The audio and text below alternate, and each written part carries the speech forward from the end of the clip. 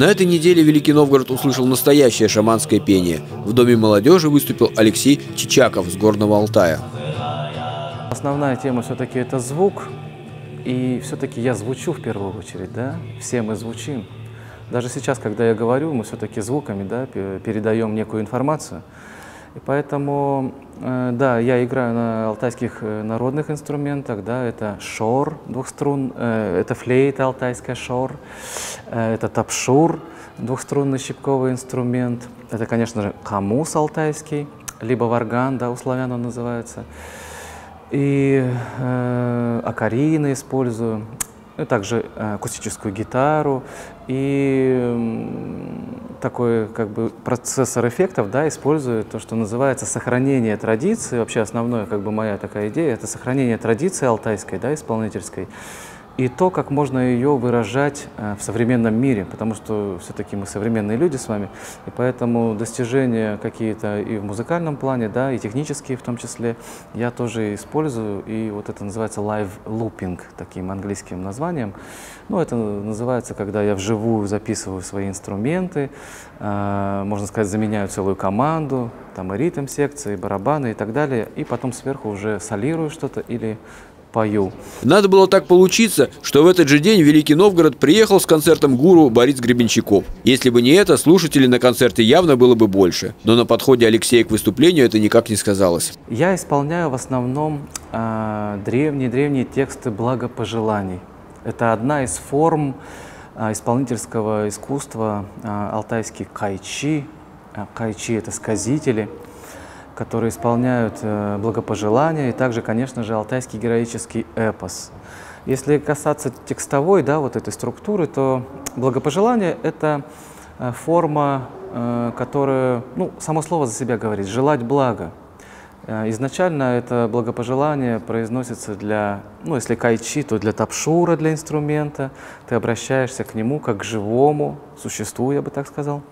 Вот. И он главный помощник, ты просишь его, чтобы он звучал лучше, играл лучше и помогал тебе исполнять то, что ты исполняешь. Также благопожелание для природы, э, благопожелание для Алтая как такового, и благопожелание, конечно, для людей, которые живут в природе. Э, вот.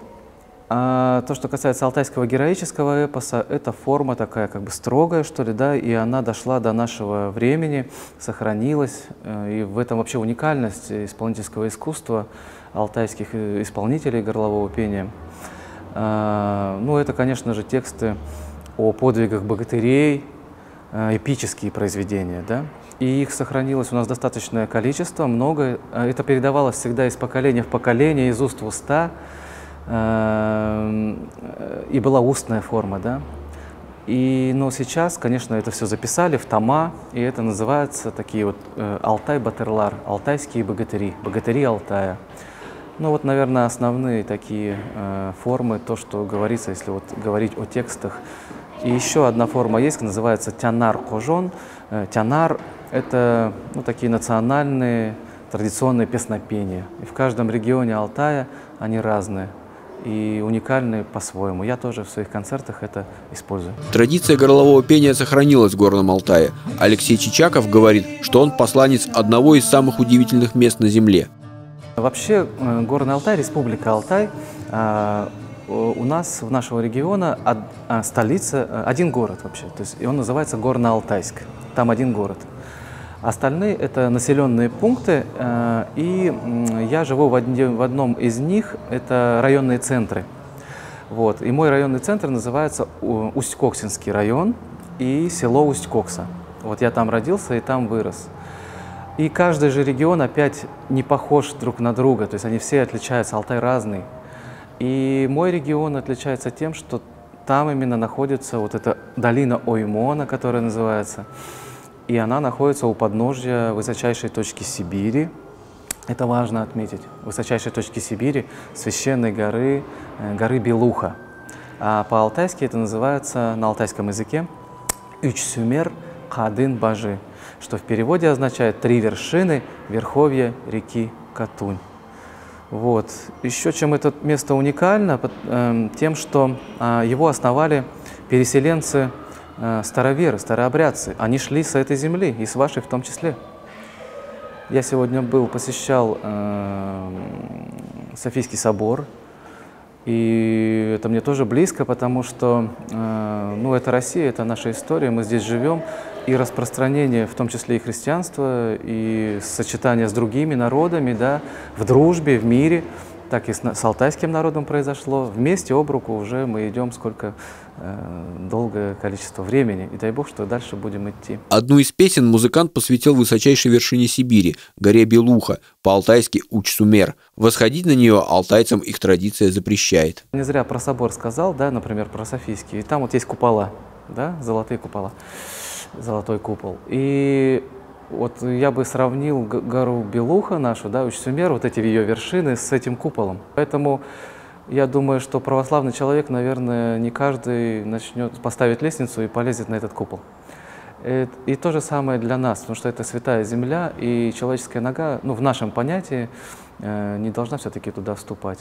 Но все-таки, опять же, э, повторюсь, что все-таки современный мир, да, в котором мы живем, и есть спорт, есть альпинисты, и, и, которые покоряют вершины и так далее. Это все понятно, это есть, но многие, к сожалению, остаются там и не возвращаются. Это коварное такое, можно сказать, место, эти высокие горы, потому что это не просто так.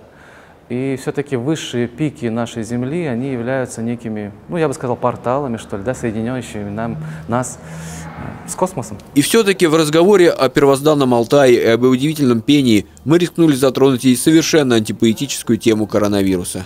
Ну, эта тема как бы понятна, это во всем мире происходит, да, какой-то процесс, э, процесс происходит. Ну, я называю, знаете, поскольку я все-таки э, к эзотерике тоже каким-то образом отношусь, и к научному миру все-таки тоже, помимо музыкального, потому что я научную деятельность веду в изучении звука и пения, и звучания инструментов, вообще вот этой волновой вибрации.